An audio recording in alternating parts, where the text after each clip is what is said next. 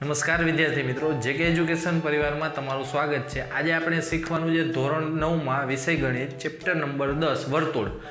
આ વિડીયોમાં આપણે પહેલાં થિયરી જોશું, ત્યારબાદ સ્વાધ્યાયના અમુક દાખલા જોશી. એ જ દાખલા કે જે તમારે બે હજાર એકવીસની પરીક્ષામાં તમારે પૂછાશે. જો તમે બે હજાર બાવીસ માટેની પ્રિપેરેશન કરતો હોય, તો આ દાખલા કાંઈ કામના છે નહીં. અને હજી સુધી તમે જો ચેનલને સબસ્ક્રાઇબ નથી કરી, તો પહેલાં કરી દો અને સાથે બાજુનું બેલ આઇકન પ્રેસ કરી દો અને જુઓ હવે થિયરી.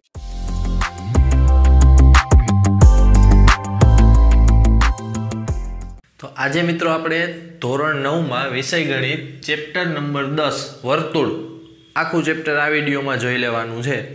સૌ પ્રથમ આપણે થિયરી ભણશું અને આ ચેપ્ટરની થિયરી તમારે આગળ ધોરણ દસમાં પણ કામ આવશે. એટલે આખે આખી થિયરી વ્યવસ્થિત સમજજો અને જો કાંઈ ડાઉટ હોય તો પાછું જોઈ લેજો. અને જો તોય વધારે ડાઉટ હોય તો મેસેજ કરી શકો છો. ત્યાર પછી મિત્રો થિયરી પૂરી થાય, ત્યાર પછી આપણે સ્વાધ્યાય ગણશું. એટલે એની પહેલાં થિયરી નહીં આવડે તો સ્વાધ્યાયમાં કાંઈ ખબર પડશે નહીં. ટોપિક સમજવાના છે. જો હાલો. પહેલાં તો વર્તુળ એટલે શું? તો વ્યાખ્યા આપેલી છે કે સમતલના કોઈ નિશ્ચિત બિંદુથી સમાન અંતરે આવેલા સમતલીય બિંદુના ગણને વર્તુળ કહે છે. કાંઈ સમજાણું નહીં. જો હાલો. સમતલના કોઈ નિશ્ચિત બિંદુથી, એટલે કે આ સમતલ, એટલે કે સપાટી છે, એનું એક નિશ્ચિત બિંદુ છે. એ બિંદુથી સમાન અંતરે આવેલા હોય. એટલે દરેક વખતે આમ જાઉં ને, તો દર વખતે અંતર કેવું હોય? સમાન. આવેલા સમતલીય બિંદુના, આ બધા બિંદુઓ કેવા છે? સમતલના. સમતલીય બિંદુના ગણને ગણ એટલે કે સમૂહ. આ જે આખો સમૂહ બને છે, એને શું કહેવાય? વર્તુળ. આ હતી વર્તુળની વ્યાખ્યા. ત્યાર પછી જીવા કોને કહેવાય? તો વર્તુળ પરના કોઈ બે બિંદુને જોડતા રેખાખંડને વર્તુળની શું કહેવાય છે? જીવા વર્તુળ વ્યવસ્થિત ન હોય તો તમે પરિકરથી દોરજો. હાલો, આ વર્તુળનું કેન્દ્ર છે ઓ હવે શું કીધું છે? કોઈ પણ બે બિંદુને જોડતો રેખાખંડ, એક બિંદુ અહીંયા ને એક બિંદુ અહીંયા. તો આને વર્તુળની શું કહેવાય? જીવા આને વર્તુળની શું કહેવાય? જીવા આને વર્તુળની શું કહેવાય? જીવા સમજાણું? આ ત્રણે ત્રણ શું છે? વર્તુળની જીવા એના પછી વર્તુળના કેન્દ્રમાંથી પસાર થતી જીવાને શું કહેવાય? તો કે વર્તુળનો વ્યાસ. જ્યારે જ્યારે જીવા છે, એ કેન્દ્રમાંથી પસાર થતી હોય. એનો મતલબ કે આ વર્તુળનું દોરું આ કેન્દ્ર છે અને આ જીવા છે કે નહીં, બે બિંદુને જોડતો રેખાખંડ. ક્યાંથી પસાર થાય છે? તો કે કેન્દ્રમાંથી. તો કેન્દ્રમાંથી પસાર થાય છે એટલા માટે એને શું કહેવાય? વર્તુળનો વ્યાસ કહેવાય.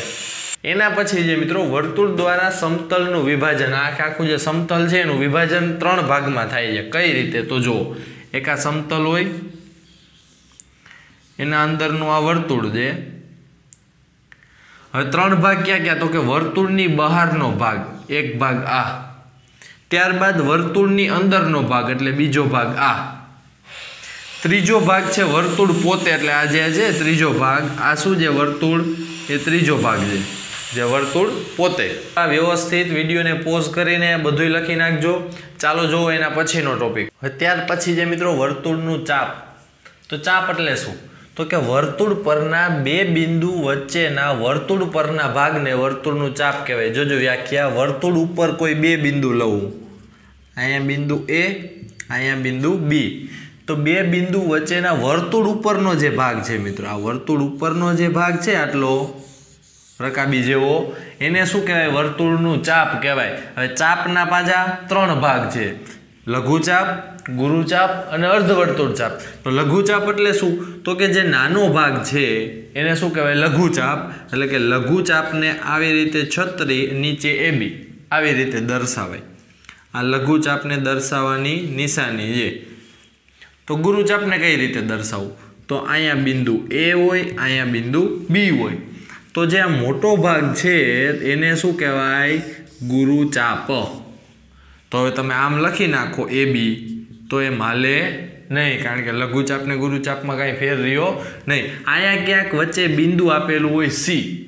અને તમને રકમમાં એવું કીધું હોય કે ચાપ એ સી બી. ચાપ જાને વચ્ચે એમ, ચાપ એ સી બી. તો આપણે સમજવાનું કે ભાઈ આપણને ગુરુચાપનો ઉલ્લેખ કરેલ છે. સમજાણું? ખાલી એવું કીધું હોય કે ભાઈ ચાપ એ બી. તો શું સમજવાનું?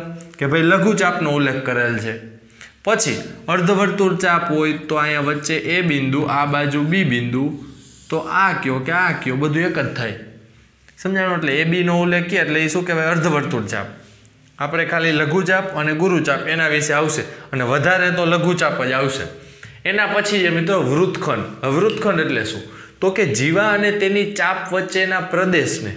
જીવા અને તેની ચાપ. જીવા કોને કહેવાય તો કે આ ચાપ કઈ કઈ તો કે લઘુચાપે આવે અને ગુરુચાપે આવે. તો જો જીવા અને લઘુચાપથી જો વૃત્તખંડ બનતો હોય તો એને લઘુ વૃત્તખંડ કહેવાય. જીવા અને ગુરુચાપથી જો વૃત્તખંડ બનતો હોય તો એને ગુરુ વૃત્તખંડ કહેવાય.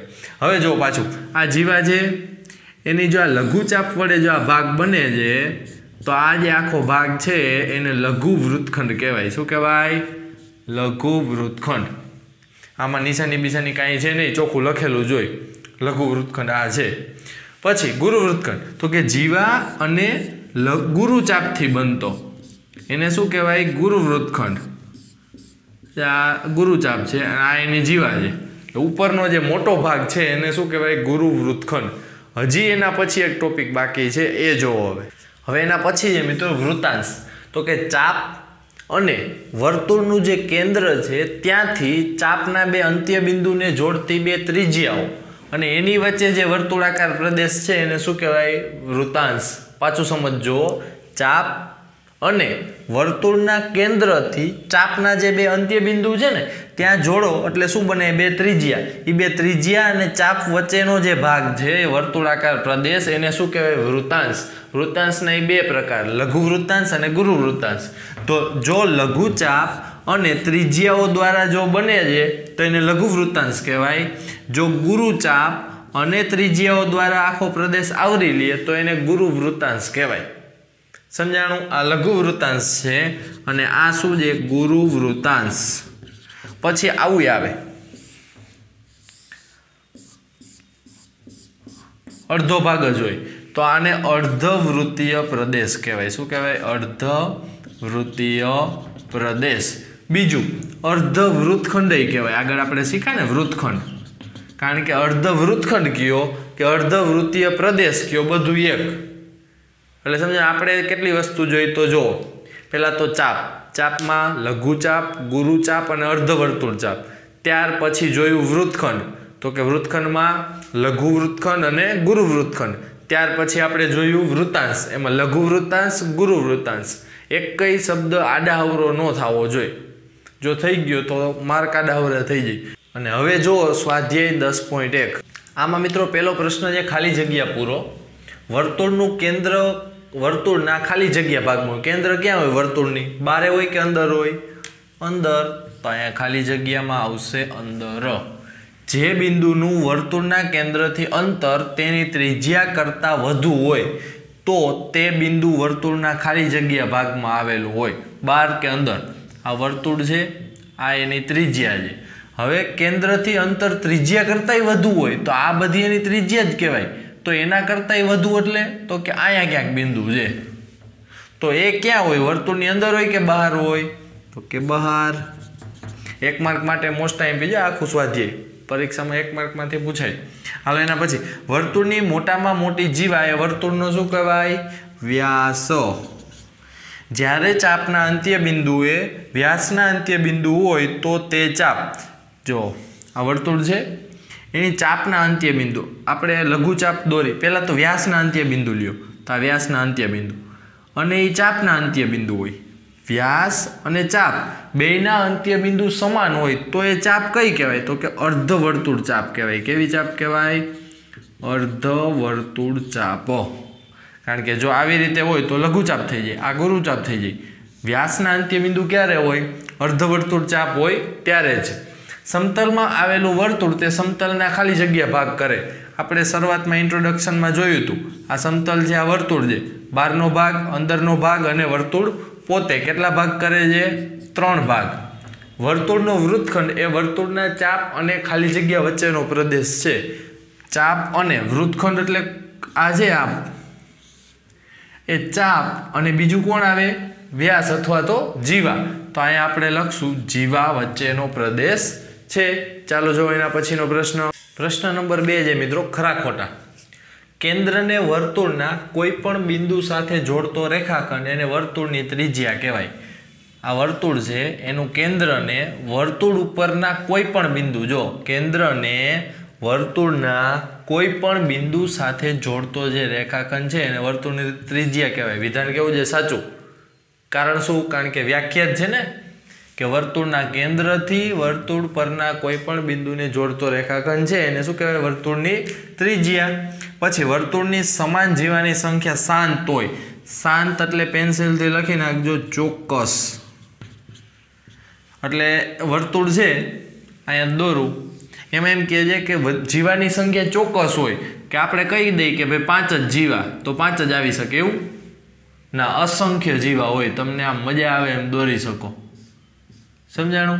આવી ગમે એટલી જીવા તમે દોરી શકો. એટલે આ વિધાન કેવું છે? ખોટું. એ તેમ પૂછે કે વર્તુળના વ્યાસ છે, એ એની સંખ્યા શાંત હોય. ના, વ્યાસય તમે અસંખ્ય દોરી શકો. આ વર્તુળ જે, આ એના કેન્દ્રમાંથી પસાર થતો વ્યાસ, આ તમે આમ અસંખ્ય દોરી શકો.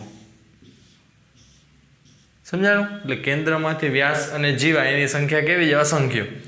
જો વર્તુળને ત્રણ સમાન ભાગમાં, સમાન ચાપમાં વિભાજિત કરવામાં આવે તો દરેક ચાપ ગુરુ ચાપ છે. એટલે કે આ વર્તુળ છે, એમાં કેટલા ભાગમાં વિભાજિત? ત્રણ સમાન ચાપ. એટલે કે એક આ ભાગ,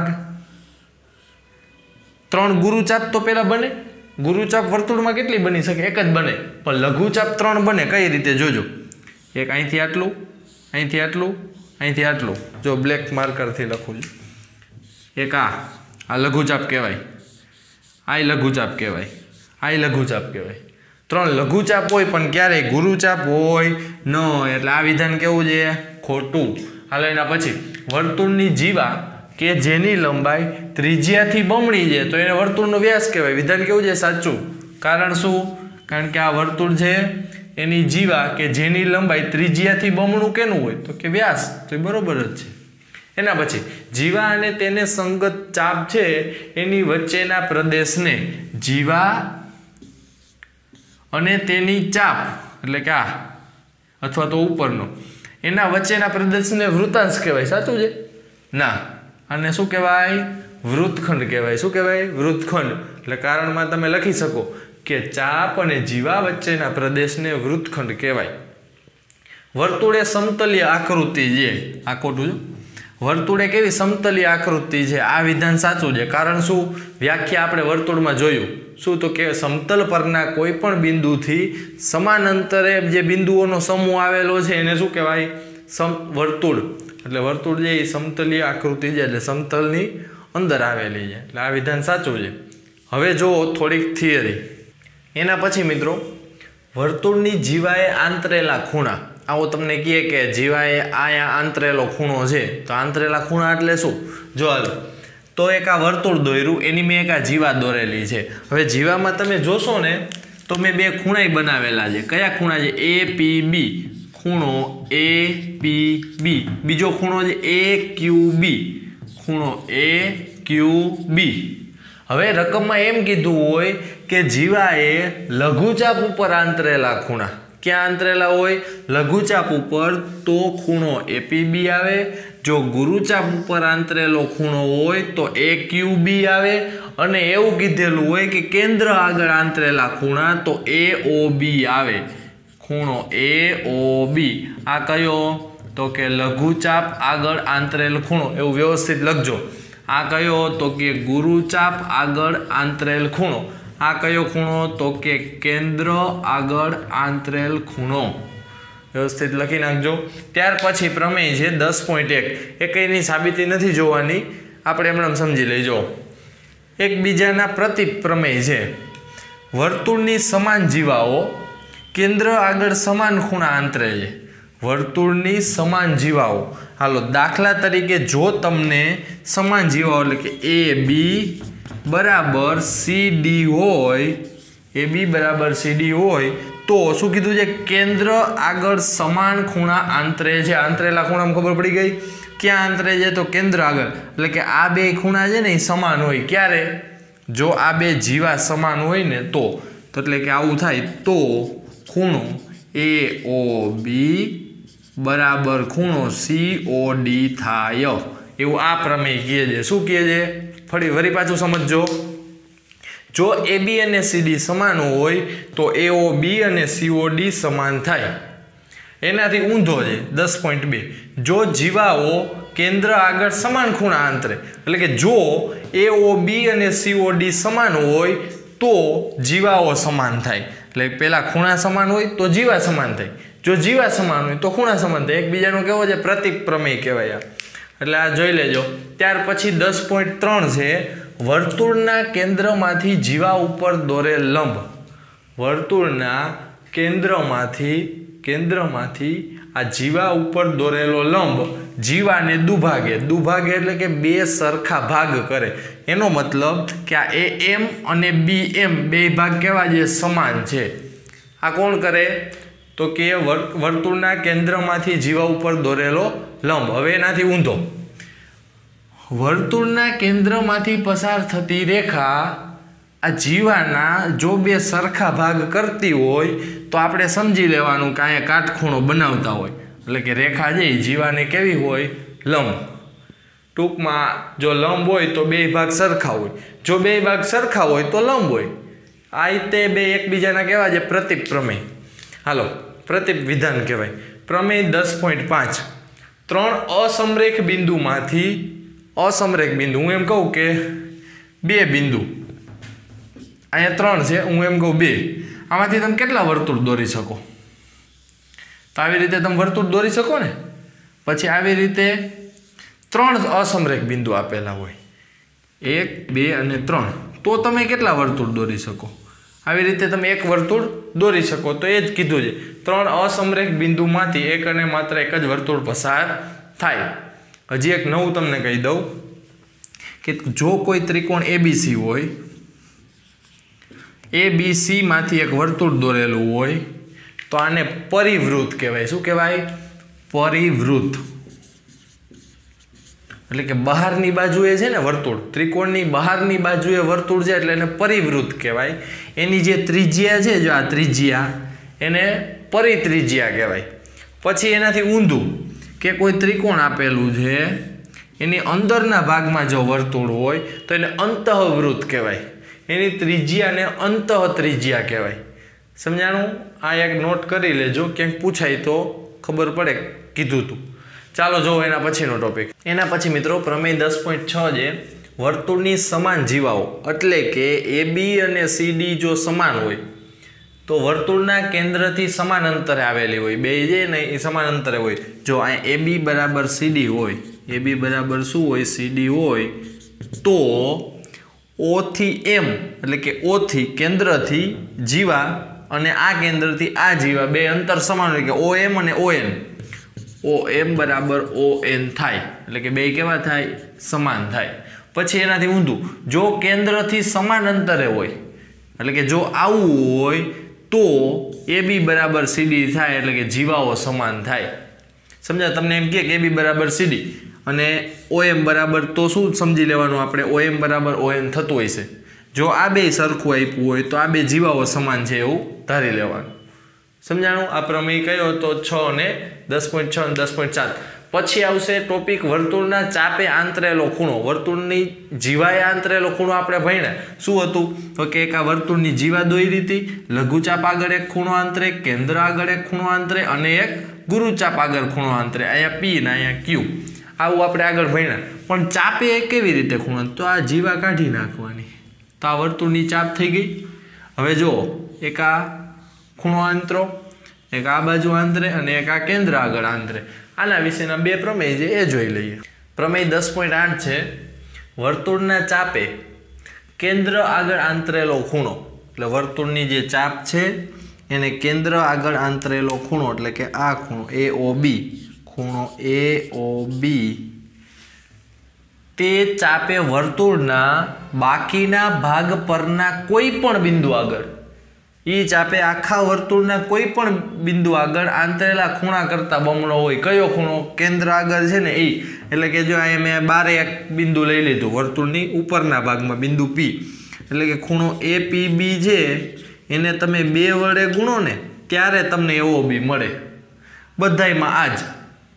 એવો બી તમારે જોતું હોય તો એપીબીને કેટલા કરવા પડે? બમણા. અહીંયા જો એવો બી છે એ કેટલાનો છે? એકસો ને એંસીનો તો તમને ખબર પડી જવી જોઈએ કે એપીબી છે એના કરતાં કેવો હોય, અડધો, નેવ અંશનો હોય. પછી, અહીંયા તમે જુઓ એઓ બી આ તમારે વિપરીત ખૂણો એઓ બી લેવાનો.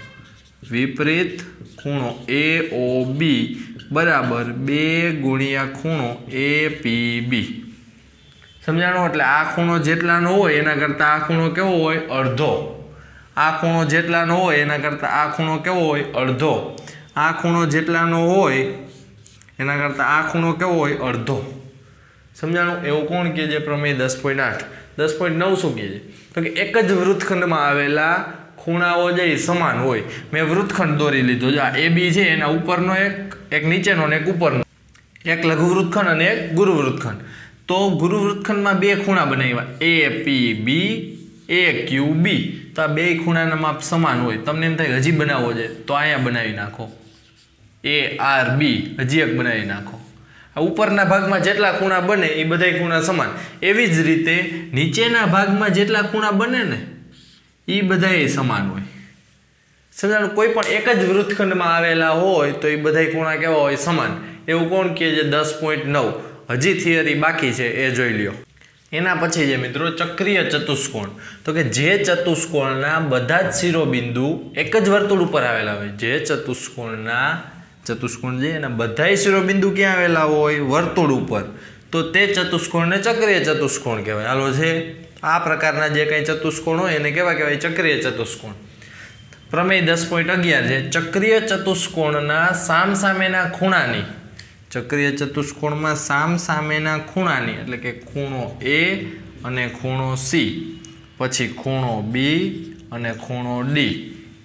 સામ સામેના ખૂણાની પ્રત્યેક જોડના ખૂણાનો આ બે જોડ થઈ, એનો સરવાળો છે ને એકસો એંસી થતો એટલે એ અને સીનો સરવાળો એકસો એંસી થતો હોય, બી અને ડીનો સરવાળો એકસો એંસી થતો હોય. આપણે અત્યાર સુધી તો એવું ભણ્યા કે ચતુષ્કોણ હોય એમાં સામ સામેના ખૂણા કાં તો સમાન હોય. જો સમાંતર બાજુ ચતુષ્કોણ હોય તો. એવી રીતે જો ચક્રીય ચતુષ્કોણ હોય તો સામ સામેના ખૂણાનો સરવાળો એકસો એંસી થાય. સમજાણું છે બી અને ડીનો સરવાળો કેટલો થતો એકસો ને એંસી. ત્યાર પછી, પ્રમેય દસ પોઈન્ટ બાર છે, જો ચતુષ્કોણના સામ સામેના ખૂણાની જોડનો સરવાળો એકસો એંસી થતો હોય, કોઈ પણ ચતુષ્કોણ હોય, તો તે ચક્રીય ચતુષ્કોણ હોય. પ્રતિપ વિધાન છે. અહીંયા આપણે આખી થિયરી ચેપ્ટરની જેટલી થિયરી છે બધી પૂરી. હવે જુઓ સ્વાધ્યાય. હવે જો સ્વાધ્યાય દસ પોઈન્ટ ચારનો પહેલો દાખલો છે. રકમ છે ને એના કરતાં આકૃતિ થોડીક અઘરી છે. કઈ રીતે દોરવી? જો પાંચ સેમી અને ત્રણ સેમી ત્રિજ્યાવાળા બે વર્તુળો છે એ બે વર્તુળ તમે આમ દોરો, તો એકબીજાને છેદે છે. કયા બિંદુમાં? તો કે બે બિંદુમાં છેદે છે. તો મેં બે વર્તુળ દોર્યા, એક મોટું વર્તુળ દોર્યું, એક નાનું વર્તુળ. પણ તમે પહેલી જ વાર જોશો ને તો બે વર્તુળ સરખા દોરો અને આવી રીતે એ બી લખી નાખશો. તો દાખલાની આકૃતિ થશે નહીં. એટલે પહેલાં બે વર્તુળ દોરવાના બે બિંદુમાં છેદે છે અને તેમના કેન્દ્ર વચ્ચેનું અંતર, એટલે કે આનું કેન્દ્ર ઓ હોય, આનું કેન્દ્ર પી હોય, તો ઓથી જે પી છે એ કેટલા સેમી છે? ચાર સેમી.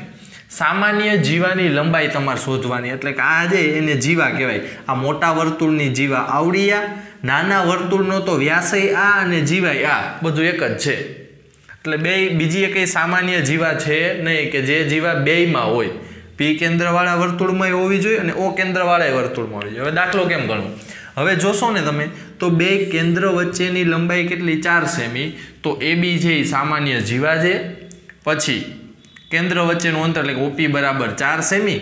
પછી આ નાનું વર્તુળ છે, એમાં પી થી એ એટલે એની ત્રિજ્યા કહેવાય કે ન કહેવાય? તો પી થી એ એટલે કે એપી કેટલું છે? તો કે ત્રણ સેમી. પછી ઓ થી એ સુધી આ મોટા વર્તુળની ત્રિજ્યા કહેવાય. પાંચ સેમી. તો ઓ એ બરાબર પાંચ સેમી. હવે ત્રિકોણ ઓ એ પી માટે પાયથાગોરસનો પ્રમેય મૂકવાનો. પાયથાગોરસનો પ્રમેય શું કહે છે? તો કે કાટ ખૂણો બનાવતી બે બાજુના વર્ગનો સરવાળો બરાબર કર્ણનો વર્ગ. એટલે કે ઓ એનો વર્ગ બરાબર ઓ પીનો વર્ગ વત્તા એ પીનો વર્ગ. એ ઓનો વર્ગ એટલે કેટલું થાય? તો કે પાંચનો વર્ગ. ઓપી એટલે ચારનો વર્ગ. એપી એટલે ત્રણનો વર્ગ. ચોકે ચોકે સોળ, ત્રણ તેરી નવ. પચું પચું પચીસ. બે સરખું આવ્યું તો એનો મતલબ કે ત્રિકોણ છે આ એપીઓ અથવા ઓએપી એ કાટકોણ ત્રિકોણ છે. કેવું છે? એ કાટકોણ ત્રિકોણ. હવે આમાં આપણે દોર્યું એ રીતે એટલે તમને ખબર પડી જાય કાટકોણ ત્રિકોણ. પણ આમાં ક્યાંય ઉલ્લેખ છે નહીં, એટલે તમારે સાબિત કરવું પડે. સમજાણું? આ બધાય દાખલા આવા જ હશે. થોડાક ગોટે ચડા એવા આમાં તમને એમ થાય કે આમાં તો ખબર જ પડી જાય છે કાટકોણ ત્રિકોણ. તો સાબિત શા માટે કર્યું? પણ આમાં ક્યાંય એવું લખેલું છે કાટકોણ ત્રિકોણનું એટલા માટે આપણે પહેલાં સાબિત કરવાનું અને સાબિત થઈ જાય પછી એના ઉપરથી તમે એવું કહી શકો કે ભાઈ ઓપી છે એ એ બી ઉપરનો લંબ છે. ઓપી છે એ બી ઉપરનો લંબ છે. પ્રમેય દસ પોઈન્ટ ત્રણ. યાદ કરો, જ્યારે જ્યારે જીવા ઉપર જો લંબ દોરેલો હોય તો જીવા જે એના બે ભાગ પડે. એનો મતલબ કે એપી અને પીબી બે કહેવાય છે સરખા. ત્યાં લખ્યું, તેથી ઓ એ એ બીને દુભાગે છે દુભાગે એટલે કે બે સરખા ભાગ કરે છે. એનો મતલબ કે એ બી તમારે જોતું હોય તો આના કેટલા કરી દેવાના? ડબલ. કારણ કે બે ભાગ સરખા, આઈ ત્રણ આઈ ત્રણ ત્રણ ને ત્રણ, છ. ત્રણ દુ, છ. સમજાણું? આ ત્રણથી ચાર વાર પ્રેક્ટિસ કરજો. દાખલામાં કાંઈ છે નહીં.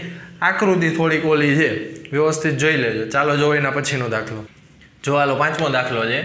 પાંચ સેમી ત્રિજ્યાવાળું, એક વર્તુળ દોરવાનું.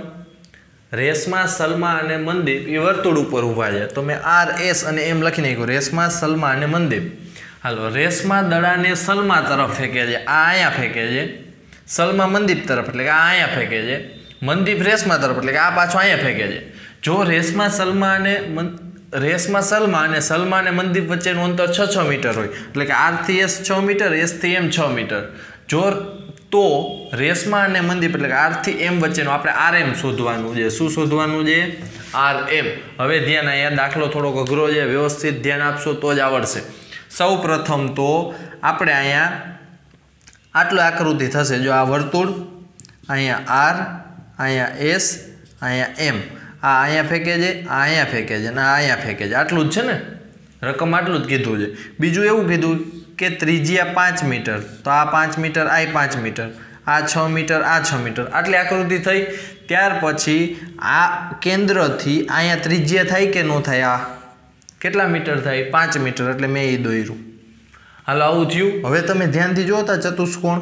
O R S M. આ બે પાંચ પાંચ મીટર, આ બે છ છ મીટર. કયો ચતુષ્કોણ કહેવાય? ચતુષ્કોણના પ્રકારમાં આપણે જોયું, આઠમામાં તમારે આવી ગયું છે. પેલી ઉપરની બે બાજુ સમાન હોય, નીચેની બે બાજુ સમાન હોય, તો પતંગાકાર ચતુષ્કોણ હોય. અને જો પતંગાકાર ચતુષ્કોણ હોય, તો એના જે વિકર્ણ છે, એ પરસ્પર કાટખૂણે દુભાગતા હોય. તો જો અહીંયા લખ્યું કે આ બે બાજુ પાંચ મીટર, આ બે બાજુ છ મીટર, એટલે કે ઉપરની અને નીચેની. હવે તો ચતુષ્કોણ ઓ આર એસ એમ પતંગાકાર ચતુષ્કોણ છે. તેથી ઓ એસ આર એમ ઉપરનો લંબ છે. આપણે ઓ એ જ લખ્યું છે. અહીંયા શું આવે? ઓ એસ આર એમ ઉપરનો શું છે? લંબ. એટલે આર એ ઓ કેટલાનો થાય? ખૂણો આર એ ઓ નેવંશનો ખૂણો આર એ, ઓ ને અંશનો થાય. બીજું શું ખબર પડે? હવે દુભાગતા હોય તો આરથી એ અને એથી એમ બે સમાન થાય કે ન થાય?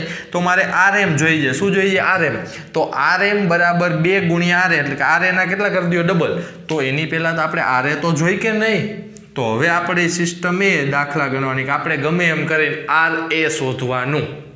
હવે ધ્યાન અહીંયા. આ આર એ છે ખાલી આ ત્રિકોણ ઉપાડો તો ઓ આર એસ જો આ ત્રિકોણ અહીંયા દોરું, અહીંયા દોર નાખું. એમાં અહીંયા છે આર એ. આને શું કહેવાય? વેધ કહેવાય. આને શું કહેવાય? પાયો કહેવાય. હવે હું અહીંયા બીજો એક વેધ દોરું. ત્યાં અહીંયા દોર્યો છે બ્લેક આને હું નામ આપી દઉં ઓ બી અહીંયા એસ તો આ વેધ કહેવાય. આને શું કહેવાય? પાયો. હવે ધ્યાન અહીંયા આ વેધ હોય આ બે બાજુ સમાન છે, તો આ બે ભાગે કેવા હોય સમાન? પાછું સમજો આ બે બાજુનું પાંચ પાંચ મીટર છે, અહીંયા વેદ દોરીશ, તો આખું છનું છે, બે કેટલા કેટલાનું થઈ જશે? ત્રણ ત્રણનું. એ શા માટે મેળવું? જોજો હમણાં. કેન્દ્ર ઓ માંથી જીવા આરએસ ઉપર એક લંબ દોરો, એનું નામ શું આપો? ઓબી હવે, ત્રિકોણ ઓ બી આર માટે. ત્રિકોણ આર બી ઓ માટે. હવે જોજો, આખું છનું હતું, તો અડધું કેટલા થઈ જાય? ત્રણનું. પછી ત્રિકોણ એ લીધો. ત્રિકોણમાં પાયથાગોરસ મૂકવાનો છે. એમાં કર્ણ એટલે કે ઓ આરનો વર્ગ બરાબર ઓ બીનો વર્ગ એટલે કે ઓ બીનો વર્ગ વત્તા બી આરનો વર્ગ અથવા તો આર બીનો વર્ગ. ઓ આર એટલે શું? તો કે ત્રિજ્યા. કેટલી છે? પાંચ. એટલે પાંચનો વર્ગ બરાબર ઓબી ઓબી એટલે આ વેધ. જ્યાં છે ને, એ તો આપણે જોઈ છે. હવે ઓબીનો વર્ગ વત્તા આરબી એટલે કે અડધું. આખું છનું હતું. અડધું કેટલાનું હોય? ત્રણનું. આપણે અહીંયા ગોઈતું. ત્રણનો વર્ગ નવ. નવ આ બાજુ આવે તો માઇનસ પાંચનો વર્ગ પચીસ પચીસમાં નવ જાય સોળ વર્ગમૂળ વર્ગ આ બાજુ આવે તો વર્ગમૂળ સોળનું વર્ગમૂળ ચાર. હવે આ મળી ગયું આપણને ચાર મીટર. હવે પાછું ધ્યાન અહીંયા. હવે ત્રિકોણનું ક્ષેત્રફળ મળી જશે. કઈ ઉપરથી? તો કે વેધ ગુણ્યા પાયો. પાયો ગુણ્યા વેધ કરો એટલે ત્રિકોણનું ક્ષેત્રફળ મળી જાય. તો ત્રિકોણ ઓ આર એસનું ક્ષેત્રફળ બરાબર એકના છેદમાં બે ગુણ્યા પાયો ગુણ્યા વેધ. હાલો, બે પાયા અને બે વેધ છે. પાછું સમજજો. ત્રિકોણમાં એક આઈ પાયો છે ને આઈ પાયો છે. એક આ વેધ છે ને આ વેધ છે. તો હવે જો, આ વેધ લખું તો એની આરે પાયો કયો થાય? આ. તો મેં લખ્યું, એકના છેદમાં બે ગુણ્યા ઓબી ગુણ્યા આર એસ વળી પાછું બરાબર, એકના છેદમાં બે ગુણ્યા એ આર ગુણ્યા ઓ એસ એ આર ગુણ્યા ઓ એસ બે ત્રિકોણ તો એક જ છે. તો એનું ક્ષેત્રફળ કેવું હોય? સમાન જ હોય. એટલે મેં બરાબર લખ્યું. એટલે એકના છેદમાં બે, એકના છેદમાં બે ઉડી જાય. હવે બધાયની કિંમત મૂકી દો હાલો. ઓબી બરાબર કેટલા મળ્યા ચાર. આરએસ બરાબર કેટલા છે? છ મીટર. ઓએસ બરાબર ઓએસ બરાબર ક્યાં છે? ઓથી એસ ત્રિજ્યા. કેટલી છે? પાંચ મીટર. એ આર આપણે શોધવાનું છે. કીધું ને આપણે? આર એ શોધવાનું છે. તો આર એ શોધવું હોય તો છ ચોક ચોવીસના છેદમાં પાંચ, ચાર પોઈન્ટ આઠ ભાગાકાર કરજો તમે. હવે અહીંયા આમાં કિંમત મૂકી દો. આર એમ બરાબર બે ગુણ્યા આર એ. બે ગુણ્યા ચાર પોઈન્ટ આઠ એટલે નવ પોઈન્ટ છ મીટર. એટલે વ્યવસ્થિત ન સમજાય તો હજી એકવાર વીડિયો જોઈ લેજો. વ્યવસ્થિત દાખલો સમજવાનો છે. જો હાલો એના પછીનો દાખલો. જો હાલો એના પછી છઠ્ઠો દાખલો છે. વીસ મીટર ત્રિજ્યાવાળું એક વર્તુળ છે. આકૃતિ મેં નથી દોરી, હવે દોરું છું. આ વીસ મીટર ત્રિજ્યાવાળું એક વર્તુળ, કેન્દ્ર શું આપી? ઓ. અંકુર, સૈયદ અને ડેવિડ. દરેક પોતાના હાથમાં ટેલિફોન ઉપર વાત કરવા માટે વર્તુળ ઉપર સરખા અંતરે ઊભા છે. સરખા અંતરે કે અહીંયા હું ઊભો રાખી દઉં અંકુરને, અહીંયા ઊભો રાખી દઉં સૈયદને, અહીંયા ઊભો રાખી દઉં હું ડેવિડને. અહીંથી આ ત્રણે ત્રણ કેવા છે? સરખા અંતરે. એટલે કે આ બાજુનું માપ આ સોરી જીવાનું માપ અને આ જીવા. ત્રણે ત્રણ જીવા કેવી છે? સમાન. દરેક ટેલિફોનની દોરીની લંબાઈ એટલે કે એથી એસ અથવા એસથી ડી એથી ડી ગમે એક શોધવાનું છે. હવે ધ્યાન અહીંયા. ત્રિજ્યા કેવી છે? સરખી જોઈએ ને બધી? ઓથી એસ ને ઓથી ડી બધી કયું હોય? સમાન. હવે હું અહીંયા ત્રિજ્યા ઉપર એક લંબ દોરું. નામ આપી દઉં બી હવે જોજો. અહીંયા હું લંબ દોરું છું. તો અહીંયા લખ્યું કે એસ બી બરાબર એક્સ મીટર. આપણે ખાલી આ એક બાજુની લંબાઈ મળી જાય તો આ બે સમાન જ છે. એટલે આપણે ખાલી આટલું વિચારી ઓ એસ ડી માટે, બરાબર? શું છે? તો કે ઓ એસ ડીમાં એસ ડી બરાબર ધારી લ્યો કે એક્સ મીટર છે. એસ બી બરાબર સોરી આ એક્સ હોય તો આ કેટલું હોય? એક્સ એક્સ ને એક્સ ટુ એક્સ એટલે કે આખું કેટલાનું થાય? ટુ એક્સ હવે આપણે એસ ડી મેળવી લ્યો ને, બસ એ જ શોધવાનું છે.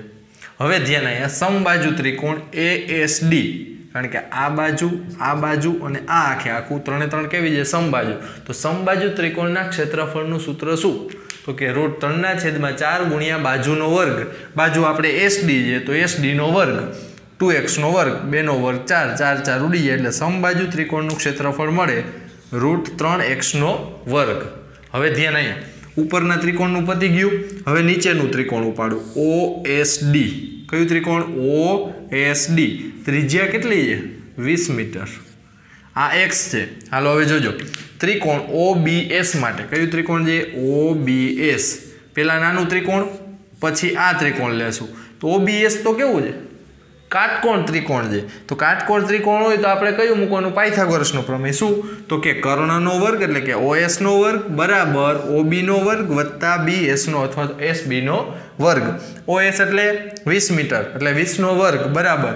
ઓબી તો આપણે જોઈ છે, શોધવું પડશે. કારણ શું? કારણ કે આ ત્રિકોણના ક્ષેત્રફળનું સૂત્ર જોઈએ અને એનું સૂત્ર થાય એકના છેદમાં બે ગુણ્યા પાયો ગુણ્યા વેધ. તો પાયો તો છે આપણી પાસે.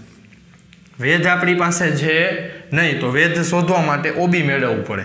તો ઓબી એટલે કે આ વીસનો વર્ગ, આ એક્સનો વર્ગ એક્સનો વર્ગ આ બાજુ આવે તો માઇનસ કે ચારસો ઓછા એક્સનો વર્ગ, એટલે ઓબી વર્ગ જે ઓલી બાજુ જઈએ વર્ગમૂળ, આ ઓબી મળી ગયો. હાલો. હવે ત્રિકોણનું મૂકી દો ઓ એસ ડીનું ક્ષેત્રફળ. મેં ડાયરેક્ટ ઓ એસ લખ્યું છે. તમે આગળ ત્રિકોણ ન કરો ને. ખાલી ઓ એસ લખો ને એટલે એનો મતલબ થાય એ ત્રિકોણનું ક્ષેત્રફળ. સમજો ટૂંકમાં લખાય આવું. એકના છેદમાં બે ગુણ્યા પાયો ગુણ્યા વેધ, એટલે કે ઓબી, આ વેધ ગુણ્યા પાયો, એટલે એસડી. ઓબી બરાબર મળ્યું. એસડી બરાબર કેટલા છે? ટુ એક્સ એટલે એ ટુ એક્સ લખ્યા. બે બે ઉડી જાય. તો એક્સ વર્ગમૂળમાં ચારસો ઓછા એક્સનો વર્ગ. હવે જોજો વ્યવસ્થિત. આ એક ત્રિકોણ, આ બીજું ત્રિકોણ અને આ ત્રીજું ત્રિકોણ. ત્રણે ત્રણ ત્રિકોણ કેવા હોય? સમાન. એકરૂપ જ છે ને, કારણ કે એક આ બાજુ આ બાજુ આ બાજુ ત્રણેયમાં સમાન. આ ત્રીજ્યા ત્રણેયમાં સમાન. તો આ ત્રણે ત્રણ ત્રિકોણ કેવા હોય સમાન. એટલે કે ત્રણેયનો જો તમે સરવાળો કરી દો ને, તો તમને આખું મોટું ત્રિકોણ મળી જાય. તો હવે મેં જ લખ્યું. એ એસ ડીનું ક્ષેત્રફળ બરાબર ઓ એ એસનું ઓ એસ ડીનું O A ડીનું O S O S D અને ઓ એ ડી એટલે કે ત્રણ ગુણ્યા ઓ એસ ડી લખું. ઓએસડી શા માટે લખ્યું? કારણ કે આપણે અત્યાર સુધી કથા જે ઓએસડીની કહી દીજો આપણે ક્ષેત્રફળ કોનું મળ્યું છે? ઓ એસડીનું એટલા માટે ત્રણ ગુણ્યા ઓએસડી કર્યું. જો તમને ઓ એ એસનું કે ઓ એ હોત, તો આ આપણે એ લખત. છે ત્રણે ત્રણના સમાન. હાલો ઓએસડી બરાબર શું છે? તો કે એક્સ વર્ગમૂળમાં ચારસો ઓછા એક્સનો વર્ગ. એ એસડી બરાબર પહેલાં મળ્યું હતું, રૂટ ત્રણ એક્સનો વર્ગ. અહીંથી દાખલો અઘરો છે. જો હાલો, કેમ કરવું? રૂટ ત્રણને ઓલી બાજુ મોકલું. છેદમાં. રૂટ ત્રણ ગુણ્યા રૂટ ત્રણ. કેવા થઈ જાય? ત્રણ, કારણ કે રૂટ ત્રણનો વર્ગ ત્રણ. હવે આવું વધ્યું એ મેં લખ્યું. એક્સનો વર્ગ હતો ને એમાંથી ખાલી એક્સને જ એ બાજુ મોકલો. એટલે કે એક્સ એક્સ ઉડી જાય ને એટલા માટે. હવે આવું વધ્યું રૂટ ત્રણ વર્ગમૂળમાં ચારસો ઓછા એક્સનો વર્ગ, એટલે કે આખે આખું વર્ગમૂળમાં છે ટૂંકમાં. હવે વર્ગમૂળને આ બાજુ આ લઈ આવું તો શું થઈ જાય? વર્ગ થઈ જાય. એટલે કે એક્સનો વર્ગ બરાબર બારસો, એટલે કે ચાર તેરી બારસો ઓછા ત્રણ ગુણ્યા એક્સનો વર્ગ, એટલે ત્રણ એક્સનો વર્ગ. આ માઇનસ છે, આ બાજુ આવે તો પ્લસ ત્રણ ને એક, ચાર એક્સનો વર્ગ. ચાર મેં ડાયરેક્ટ છેદમાં જવા દીધા. જગ્યાના અભાવે. ચાર તેરી બારસો. ત્રણસો આવ્યા વર્ગમૂળમાં ત્રણસો. ત્રણસો એટલે કે ભાગ પાડ્યા. સો ગુણ્યા ત્રણ. સોનું વર્ગમૂળ દસ. વર્ગમૂળમાં ત્રણ. એક્સ તો મળી ગયો આપણને. પણ આપણે એસડી એટલે કે બાજુની લંબાઈ જોઈ છે, તો હવે આ માં લખાઈ જાય. પછી આ લખજો. એસડી બરાબર બે ગુણ્યા એક્સ બે ગુણ્યા દસ રૂટ થ્રી. દસ દુ વીસ રૂટ થ્રી. મીટર. આ તમારી ટેલિફોનની દોરીની લંબાઈ મળી ગઈ. અહીંયા સુધી દાખલો સહેલો છે. અહીંથી આ કેમ સાદુરૂપ આપ્યું ને એક વ્યવસ્થિત જોઈ લેજો. હવે જો એના પછીનું સ્વાધ્યાય. હાલો સ્વાધ્યાય દસ પોઈન્ટ પાંચનો મિત્રો પહેલો દાખલો છે. આપેલ આકૃતિ છે, એમાં ઓ કેન્દ્રવાળું વર્તુળ છે. એમાં બિંદુ એ બી અને સી એવી રીતે આવેલા છે કે જેથી બી ઓ સી ત્રીસનો થાય એ ઓ બી સાહીઠનો થાય. જો ચાપ એ બી સી જે આખી ચાપ છે ને લઘુચાપ એની સિવાયના વર્તુળ ઉપર, એટલે કે આ ભાગ ઉપર ક્યાંક બિંદુ ડી આવેલું છે, તો તમારે ખૂણો એ ડી સી એટલે કે આ ખૂણો શોધવાનો છે. પ્રમેય યાદ કરો જોઈએ કે આ ખૂણા કરતાં આ ખૂણો કેવો હોય? અડધો. અથવા તો આ ખૂણો જે, એના કરતાં આ ખૂણો કેવો હોય? બમણો. કે કેન્દ્ર આગળ બનાવેલો ખૂણો અને વર્તુળ ઉપર બનાવેલો ખૂણો. આંતરેલા ખૂણા વિશે આપણે ભણ્યા હતા. જો હાલો. પહેલાં તો હું એઓ સી મેળવી લઉં, તો ખૂણો એ ઓ સી બરાબર. ખૂણો એ ઓ બી ખૂણો એ ઓ બી વત્તા ખૂણો બી ઓ સી ખૂણો બી ઓ સી એ ઓ બી કેટલાનો છે? સાહીઠનો સાહીઠ અંશ વત્તા ત્રીસ અંશ. તો ખૂણો એ ઓ સી બરાબર નેવું અંશ. હાલો એ ઓ સી મળી ગયો. આપણે એ ડી સી જોઈએ તો ખૂણો એ ઓ સી બરાબર બે ગુણ્યા ખૂણો એ ડી સી આવો કંઈક પ્રમેય આવી ગયો. ઇન્ટ્રોડક્શનમાં જોઈ લેજો. હવે એ ઓ સી કેટલાનો છે? નેવુંનો. તો નેવું બરાબર બે ગુણ્યા ખૂણો એ ડી સી તો ખૂણો એ ડી સી બરાબર નેવના છેદમાં બે. પિસ્તાલીસ દુ નેવું. તો ખૂણો એ ડી સી બરાબર પિસ્તાલીસ અંશ. દાખલો પૂરો. જોવા લો એના પછીનો દાખલો. એક વર્તુળની જીવા અને ત્રિજ્યા સમાન છે, તો આપણે ઓ કેન્દ્રવાળું એક વર્તુળ દોર્યું. એની આ બે ત્રિજ્યા છે. આ એની શું કહેવાય? જીવા. એટલે કે આ ત્રિજ્યા અને જીવા કેવી છે? સમાન. આ જીવા એ આ જે જીવા છે એને લઘુચાપ ઉપરના કોઈ બિંદુ આગળ, એટલે કે લઘુચાપ એટલે આ નીચેની, નાની ચાપ છે એને શું કહેવાય? લઘુચાપ. એના આગળ એક આંતરેલો ખૂણો છે, ત્યાં મેં ડી ડી નામ આપ્યું. પછી ગુરુચાપ, એટલે કે ઉપરની જે ચાપ છે, ત્યાં પણ કોઈક બિંદુ આગળ આંતરે છે ખૂણો. તો ત્યાં આપણે શું નામ આપ્યું? સી. હવે આપણે એક આ ખૂણો શોધવાનો છે અને એક આ ખૂણો શોધવાનો છે. હવે ધ્યાન અહીંયા જો આ ખૂણો મળી જાય ને, તો ખબર પડી જાય કે ભાઈ આ છે એના કરતાં અડધો હોય. પછી આ અને આ આ ચક્રીય ચતુષ્કોણ છે. તો આપણે એવો પ્રમેય ભણી ગયા કે ભાઈ ચક્રીય ચતુષ્કોણના સામસામેના ખૂણાનો સરવાળો એકસો એંસી થાય. તો પણ સૌ તો આપણે ઓ ખૂણો મેળવવો છે. તો હવે ધ્યાન અહીંયા.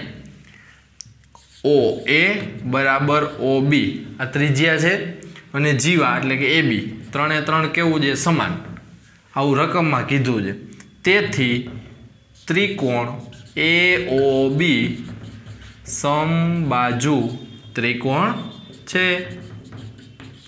હાલો સમબાજુ ત્રિકોણ હોય તો ત્રણેય ખૂણાનો સરવાળો કેટલો? એકસો એંસી. એટલે કે ખૂણો એ વત્તા ખૂણો ઓ વત્તા ખૂણો બી બરાબર એકસો ને એંસી. તો આપણે ઓ ખૂણો જોઈએ તો એ, બી ત્રણે ત્રણ કેવા છે? સમાન. કારણ કે બાજુ ત્રણે ત્રણ સમાન છે એટલા એટલે ખૂણો ઓ વત્તા ખૂણો ઓ વત્તા ખૂણો ઓ બરાબર એકસો ને એંસી. આ શું કર્યું? એની જગ્યાએ ઓ મૂક્યું? બીની જગ્યાએ ઓ મૂક્યું. તો ત્રણ વાર ખૂણો ઓ બરાબર એકસો એંસી, ખૂણો ઓ બરાબર એકસો એંસીના છેદમાં ત્રણ. ખૂણો, આખું નામ લખાવો. એ, ઓ, બી.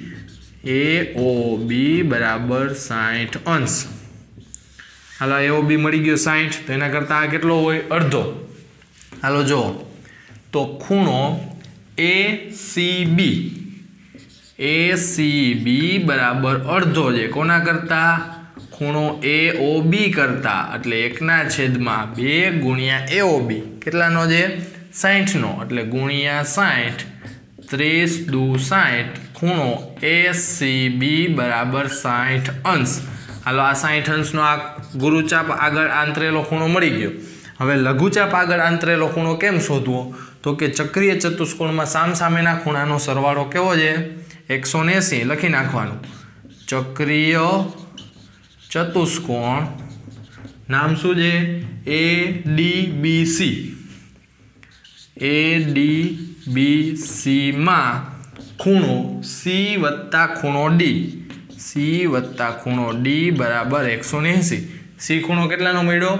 સાઠનો તો અહીંયા સાઠ વત્તા ખૂણો ડી બરાબર એકસો એંસી. ખૂણો ડી બરાબર એકસો એંસી ઓછા સાઠ બરાબર એકસો ને વીસ અંશ. દાખલો પૂરો. જોવા લો એના પછીનો દાખલો. આપેલ આકૃતિમાં ખૂણો પી ક્યુ આર સોનો છે એટલે પી ક્યુ આર આ કેટલાનો છે? સોનો. પી ક્યુ અને આર એ ઓ કેન્દ્રવાળા વર્તુળ પરના બિંદુ છે. તમારે ઓ પી આર શોધવાનો છે. ઓ પી આર એટલે કે આવડો ખૂણો શોધવાનો છે. એની પહેલાં ધ્યાન અહીંયા. આ ખૂણો છે. તમારે આ ખૂણો મેળવી લ્યો ને. તો આ અને આ બે સમાન છે. કેમ? કારણ કે જો આ બાજુ અને આ બાજુ સમાન હોય, તો બે સમાન બાજુની સામેના ખૂણા કેવા હોય? સમાન. તો આ ખૂણો કેમ મેળવવો? એની પહેલાં આ ખૂણો સોનો હોય, તો આ ખૂણો કેટલાનો હોય? આપણે શીખાતા કે વિપરીત ખૂણો પી O R P O R બરાબર બે ગુણ્યા પી ક્યુ આર ખૂણો પી ક્યુ આર આવું આગળ આપણે ઇન્ટ્રોડક્શનમાં જોઈ લીધું કે ભાઈ કેન્દ્ર આગળ આંતરેલો ખૂણો, ચાપ આગળ આંતરેલા ખૂણા કરતાં કેવો હોય? બમણો. એટલે કે ચાપ આગળ સોનો ખૂણો છે, તો આ એના કરતાં કેવો હોય? ડબલ. હાલો, તો બે ગુણ્યા સો બરાબર બસો અંશ. આ ખૂણો થાય બસો અંશનો. હવે આખું ચકેડું કેટલાનું હોય? આખું ચકેડું ત્રણસો ને સાઠ અંશનું. તો આ બસોનો હોય, તો આ ખૂણો મળી જાય કે ન મળી જાય? જો કઈ રીતના? ખૂણો પી O R P O R વત્તા વિપરીત ખૂણો પી ઓ આર એટલે કે એક મેઇન ખૂણો અને એક વિપરીત ખૂણો. બેયનો તમે સરવાળો કરો તો ત્રણસો ને સાઠ અંશ થતો હોય. વિપરીત ખૂણો આપણને ખબર છે બસો. તો ખૂણો પી ઓ આર વત્તા બસો બરાબર ત્રણસો ને સાઠ અંશ. ખૂણો પી ઓ આર બરાબર ત્રણસો સાઠ માઇનસ બસો. તો ખૂણો પી ઓ આર બરાબર એકસો સાઠ અંશ. હાલો, આ પી આર મળી ગયું. હવે આ બે ખૂણા તો કેવા છે? સમાન. આપણે લખી નાખું એક્સ હાલો, હવે જો ત્રિકોણ પી ઓ આર માટે પી ઓ આર માટે ખૂણો પી વત્તા ઓ વત્તા આર બરાબર એકસો એંસી. પી આપણે શોધવાનો છે. પી વત્તા પીની જગ્યાએ એક્સ જ લખીએ આપણે. એક્સ વત્તા ઓ કેટલાનો છે? પી ઓ આર એકસો સાહીઠનો. આર કેટલાનો છે? ધાર્યું આપણે એક્સનો એટલે વત્તા એક્સ બરાબર એકસો એંસી. એક્સ વત્તા એક્સ એટલે ટુ એક્સ બરાબર એકસો એંસી ઓછા એકસો સાહીઠ. ટુ એક્સ બરાબર વીસ અંશ, એક્સ બરાબર વીસના છેદમાં બે, એક્સ બરાબર દસ અંશ. તો એક્સની કિંમત મળી જાય તો ઓ પી આર ખૂણો, તેથી ખૂણો ઓ પી આર બરાબર દસ અંશ. આ જે ખૂણો કીધો છે એ મળી ગયો. તો અહીંયા મિત્રો આપણે આખે આખું ચેપ્ટર વ્યવસ્થિત જોઈ લીધું છે. જો કંઈ ડાઉટ હોય તો નીચે કોમેન્ટમાં જણાવજો. અને હજી સુધી જો ચેનલ સબસ્ક્રાઈબ ન કરી હોય તો કરી દો અને વિડીયોને જો લાઈક ન કરી હોય તો લાઈક કરી દો બીજું તમારા મિત્રો સાથે શેર કરજો.